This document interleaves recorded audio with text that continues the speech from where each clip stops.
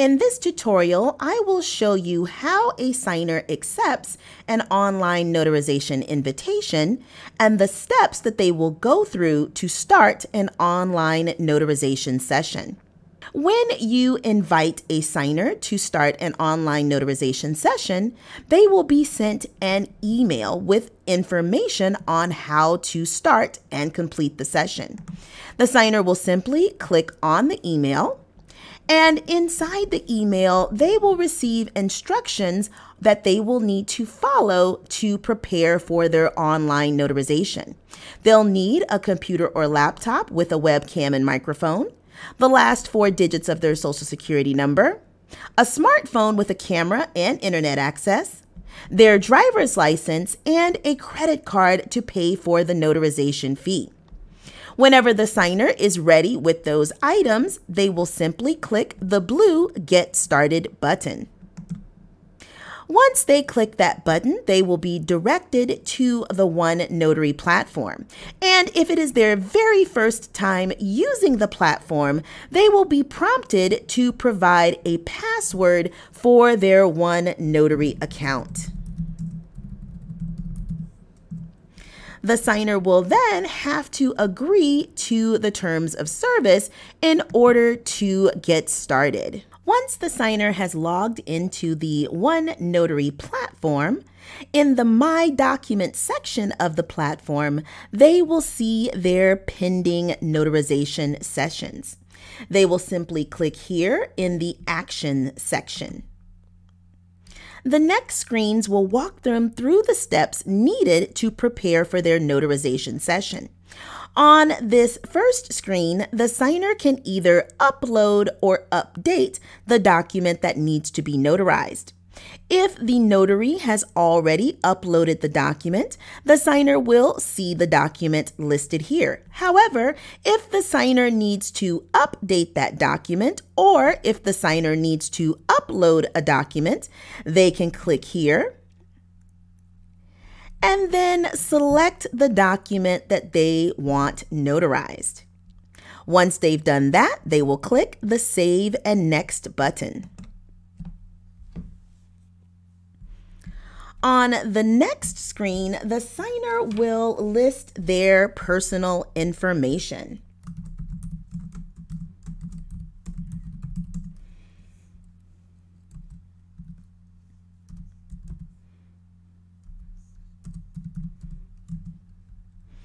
The signer will also need to list the last four digits of their social security number and they will need to list their home address.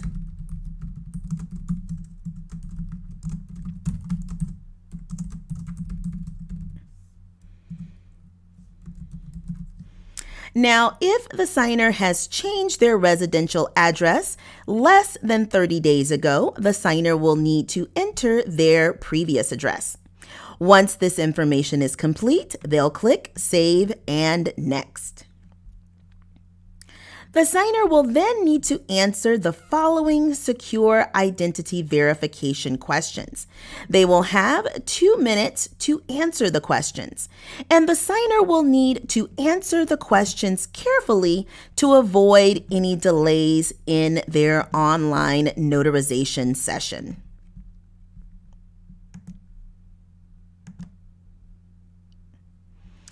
The next thing the signer will need to do is verify their photo ID. And this is done by a link that is sent to their smartphone. So the signer will need to input their cell phone number so that they can receive that link. An ID verification link will be sent to the signer's smartphone. The signer will need to check their text messages to receive that link and then click on the link in their text messages. Once the web page has opened up, the signer will just need to input the four digit security key listed on their computer into the four digit security key field on their cell phone and press submit. Once that four digit verification code has been verified, the signer will then need to take a picture of their photo ID. The signer will need to place their ID on a dark flat surface in a well lit room, position their camera directly over the ID, and do their best to avoid glare. The signer will be prompted to take a photo of the front of their ID. The signer can then decide if they want to use that photo or retake the photo.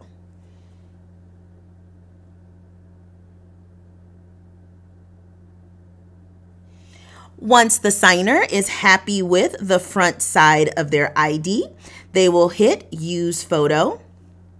And then they will be directed to take a photo of the back of their ID. Again, once the signer is happy with the photo of their ID, they will simply hit the Use Photo button. And once the ID verification is successful, the signer can hit the blue Proceed button on their computer.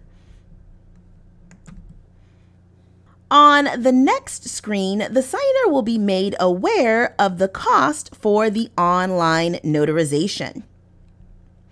The signer will then be prompted to enter their credit card details for payment.